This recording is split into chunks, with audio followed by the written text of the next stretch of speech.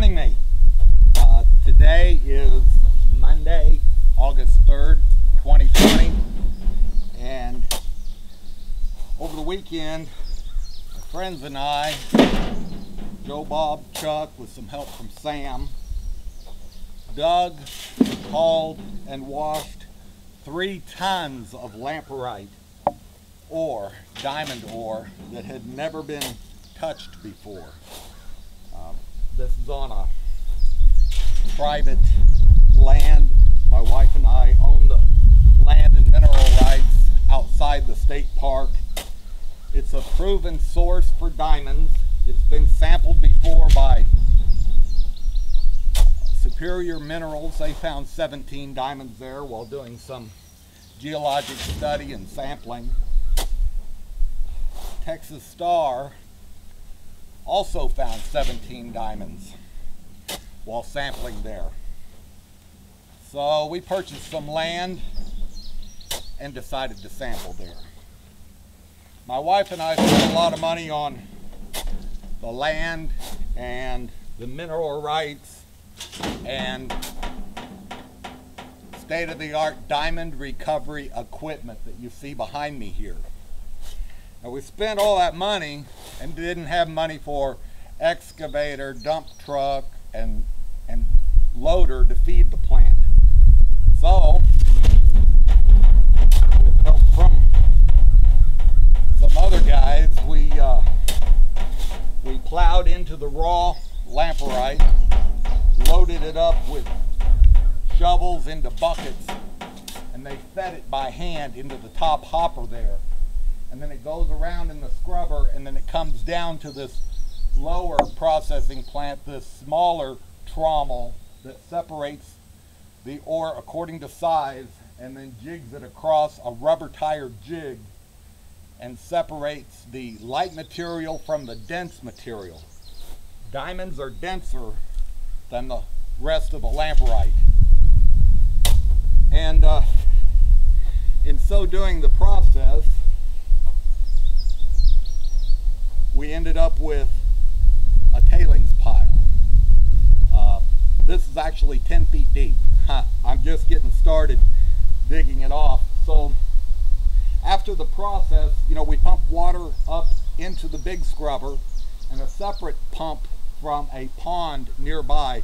We pump rainwater, pond water for processing. A separate pump goes to this lower unit here.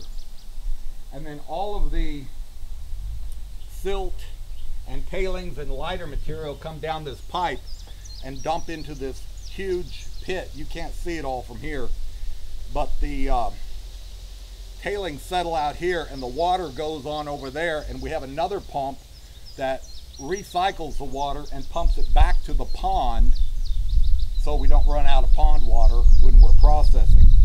So we reuse the water, but the tailings kind of fill up our settling pond, tailings pond, recycle water pond. And uh, now, after washing three tons this weekend, three tons has to be dug back out. Now, if we had money, I would use an excavator. Of course, if we had money left over, if we hadn't spent more than $100,000 to this point, we would have money for excavator and dump truck and they could come in here and dig this out and haul it off real quick. But since we can't do it the fast way, we'll do it the old fashioned way. And really, this isn't bad. This is like shoveling sand. It's not hard digging or anything. Um,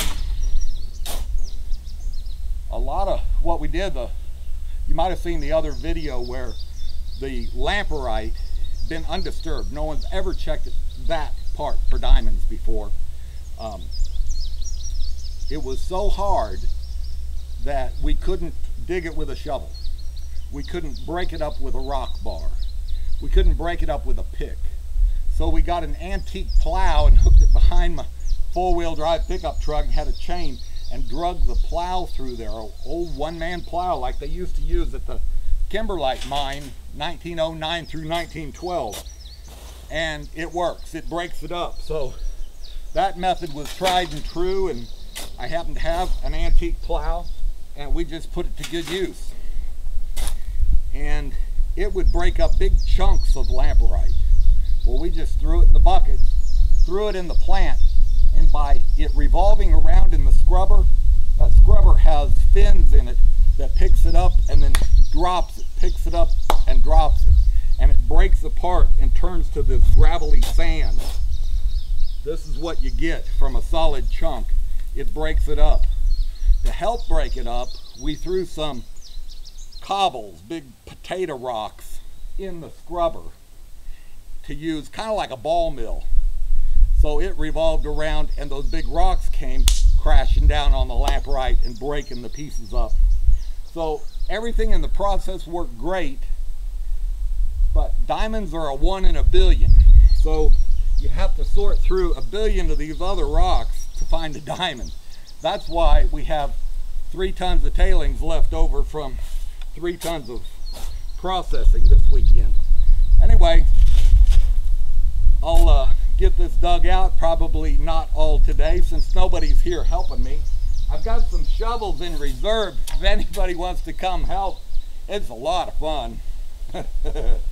no, it's more fun digging up the lamproite and running it through the plant. And I, I can get volunteers for that a lot easier than I can for just plain old manual labor like this. But I've got my truck and trailer here and wash tubs and I just fill it, fill it up with tailings and then I dump it in our field here. But that's the process. So the, the byproduct is a lot of tailings because you're only catching a small percentage, less than 10% of 1% is actual heavies like chromium spinel. We found that. Chromium diopside. We found that. Pyrope garnet. We found that. We found a little barite too. That's your dense materials that are caught in with diamonds. And I can't say how many diamonds were found because that's proprietary uh, company information. I mean, that's why we did all the work, is for the information, yeah, for the diamonds, but we also needed to know how many diamonds per 100 ton will that ore yield. And we need like five carats per 100 ton to be profitable. But, uh, so that information can't be shared at this point. Maybe some point in the future we can, but right now uh, it's proprietary. But that's the process. We've got all the pumps and all the equipment run off electricity and we just use water. So there's no chemicals involved. Unlike gold, we don't use any uh, mercury. of course, they don't do that anymore. Uh, we don't use any cyanide or, or acids or nothing like that is involved. Just plain H2O. Old rainwater from a pond is what we use to separate the diamonds from the ore. So there's nothing wrong with this. And I have had these, uh, this soil sampled by the county extension office. And they said that's good for growing crops. So uh, you don't have to add any fertilizer to it or anything. There's manganese and other uh, minerals and uh, nutrients in this soil. So it's good for for growing winter wheat if I want to plant some this winter. But um, for now I've just got to fill these wash tubs and all this out of here. I pumped the water down so I could get in here because yesterday at this time the water level was clear up to the bottom of that pipe. So this was all water. And then now the water's down so it would dry enough where I could get in here and shovel without being knee deep in water shoveling. So anyway, I got 10 feet to go and I'll be done. So I'm just getting started. But I wanted to show you what the process looked like and and uh, what the pile of tailings looks like. So it's just this uh, sandy little crumbs of uh, busted up igneous rock, uh, diamondiferous lamproite. We uh, already extracted the diamonds and this is all just to go out in the field.